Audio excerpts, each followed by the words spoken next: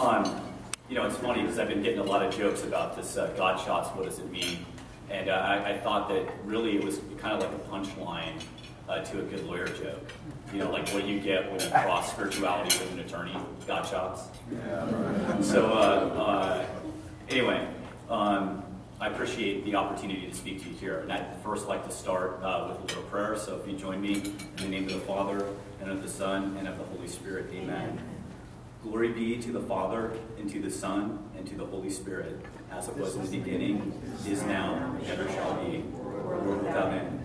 Amen.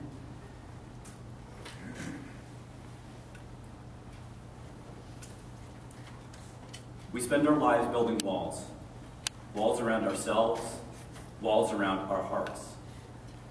We build walls that separate us from other people, from God's creation, and sometimes from God Himself. We build these walls for many, many different and often painfully understandable reasons.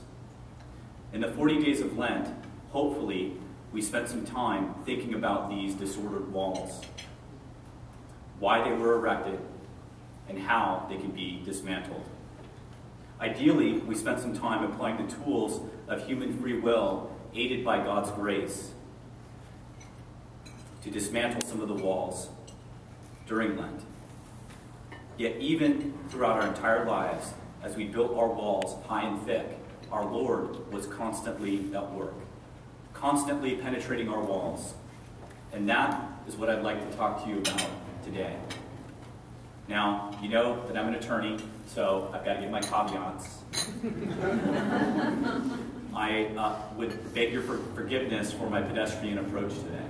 I'm not a theologian, and I have not studied any sacred text of any religious tradition in depth.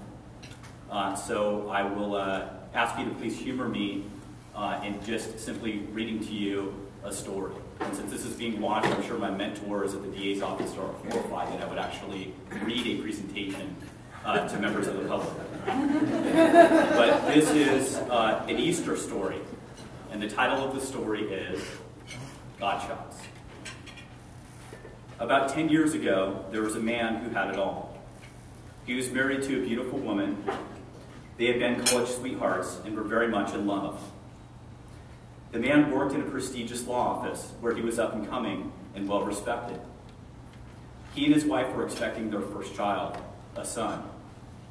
Being the only son of the only son of the only son for five generations, this son would carry on the family name. Life was perfect. When the man's son was born, he was premature and had a large tumor growing out of his neck. The man and his wife named their son Victor. Victor could not breathe, and nothing could be done to help Victor. Victor lived for two minutes and died. Those who have lost a child can understand the deep, deep pain the couple felt. Not that it would have mattered which spiritual tradition he was raised with, the man had been a lapsed Catholic for over a decade. With nothing to fall back on, so began the man's plunge into his self erected abyss. Over the next five years, the man lived with the dead. Through disordered choice and indifference, the man erected the highest walls he could build, while methodically burning everything inside of those walls. At home, he grew increasingly hostile towards his wife. At work, his anger manifested itself in thoughts of vengeance against anyone who might affront him. The birth of two daughters did nothing to alter his course. By the fifth year, he lived like a single man, he and his wife were planning the division of property and discussing property rights, or excuse me, custody rights over their children. Divorce was imminent. One afternoon, the man found a book in his personal library, the unabridged version of Les Miserables by Victor Hugo. The man had no idea where he got the book, but he felt as if he's always wanted to read it. So he read. The book contained the story of a fictional bishop Monsignor Bienvenu. Monsignor Bienvenu loved our Lord, and he loved those around him. He lived a life of complete generosity. Everything he received, stipends, a bishop's mansion, gifts, he lovingly gave away. As the man read about the life of this fictional saint, a thought came into his mind. I have given you everything a beautiful wife, two daughters, a career, a house. Why are you throwing it all away? This thought stuck with the man for days. Finally, the man realized how far he had retreated behind his walls, and for the first time in years, he began to pray. Lord, I've really messed things up. Please help me. He prayed this way for a year until, out of the blue, he was unexpectedly transferred to a new assignment with his office. An assignment located in a building across the street from here, the cathedral. Walking into work one morning, the man noticed that statue right across the parkway there, or across the plaza. The statue above the bronze door, Our Lady of the Angels, inviting, welcoming all to enter. He thought, I had to go back to Mass. At about that time, the man was assigned to do a special project that required him to travel two days a week to Lancaster. As a teenager, the man had spent many retreats at a Catholic abbey near Lancaster. Some of you may know it, St. Andrew's Abbey. The man took the locations of his new assignment and new project as no coincidence and decided to attend Mass every day at the cathedral or at St. Andrew's Abbey. Being at Mass again stirred deep feelings of how things used to be in his life. The man felt our Lord calling him to spiritual renewal, and he began to seriously focus on his journey. He read about spiritual matters and befriended a visiting priest at the cathedral. In his spiritual reading, uh, the man heard about something called a spiritual director. And given his spiritual renewal, he asked this new priest friend if he would be a spiritual director. He told the priest that he specifically needed a spiritual director who could deal with the aggressive personality of an attorney. That's kind of a joke. he actually did. The person told the man, he would, the priest told the man he would think about it. A week later, the priest contacted the man. The priest had prayed about it, but he had to decline because he was too busy. The man understood and was embarrassed to have even asked.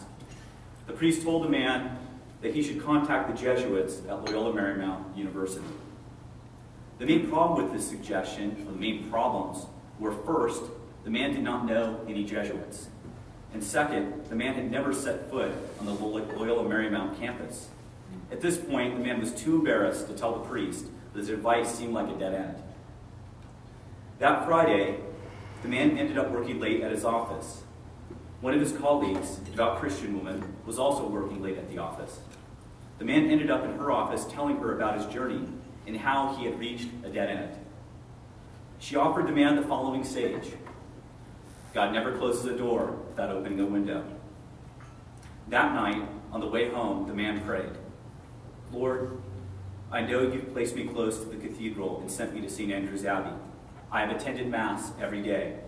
I thank you for this spiritual renewal, but I think I need a spiritual director, and I do not know any Jesuits. So you need to show me a sign. I'm not challenging you. In your time, show me a sign. The next morning, the man went to buy breakfast for his family at a local restaurant. As the man exited his car, he noticed a homeless man next to the door of the restaurant. Seeing the homeless person, the man was reminded of one of the homilies given by Cardinal Mahony at the cathedral. And since this is being taped, I'd like to just interrupt this with an aside uh, that Cardinal Mahony, when he is out at the 7 a.m. Mass, is just like the local parish priest. And let me tell you, some of the best homilies he's ever given were at that 7 a.m. Mass. That's my personal aside. the homily that the cardinal gave that morning concerned a gospel reading from Luke, the story of Lazarus and the rich man. The cardinal explained that the rich man had not done anything affirmatively wrong to Lazarus. He had not beaten Lazarus or evicted him from his property. The sin of the rich man was not being attentive to Lazarus as a human being. During the homily, the cardinal issued a challenge. The next time a homeless person asks you for money, you may not give him any, but at least ask his name. At least acknowledge him as a human being. And then maybe find something to eat. So as the man approached the restaurant's entrance, the homeless person asked him for a dollar. The man told the homeless person that he would buy him something to eat. The homeless person asked if he could come inside the restaurant and the man invited him in. They ordered some food and sat in a booth for a while. And again, inspired by the homily, the man introduced himself and asked the homeless person's name. The homeless person said he was David, and he asked the man what his occupation was.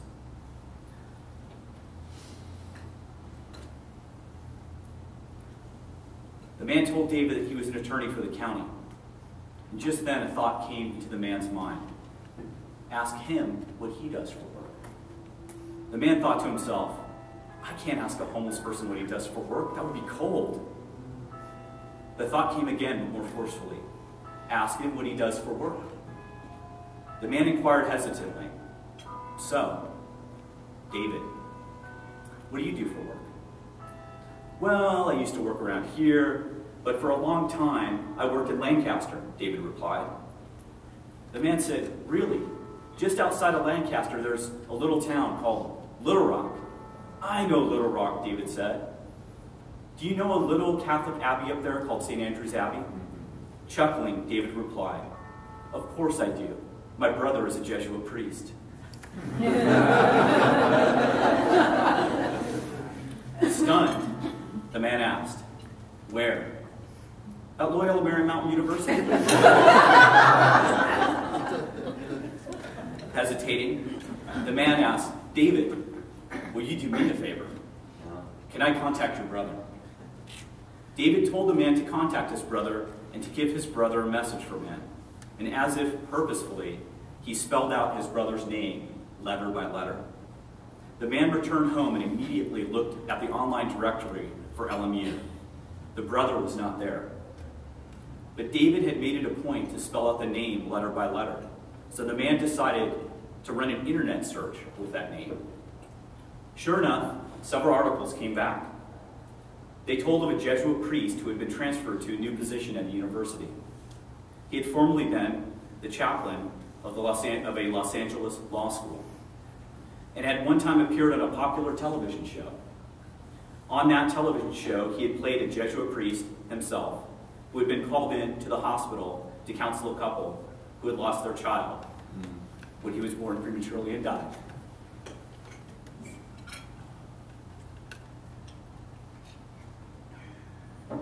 The man called the priest. The priest found the man, the spiritual director, and the man's life will never be the same. God shots, what are they? That book, that thought, that unexpected job transfer, that answer to a prayer, that coworker's wisdom, that homily's challenge, those constant penetrations of our walls, moments when even for a split second, we are aware of God's presence in our lives and his infinite love for each of us. And then, sometimes, when we are ready, that experience, when you know to your core that the Holy One, the risen Christ, this tremendous lover, has intervened in your life, tearing down your walls and revealing himself to you in such a way that there is no turning back. Now, brothers and sisters, although this story took place during Lent three years ago, this story is not a Lenten story, but an Easter story. So, what happened? Where is this man now? Some of you have probably already guessed or have already heard this story before, so you already know. I'm happy to report that I've been under the spiritual direction of a Jesuit at LMU for three years. My marriage is stronger than ever. My career continues to evolve in positive ways.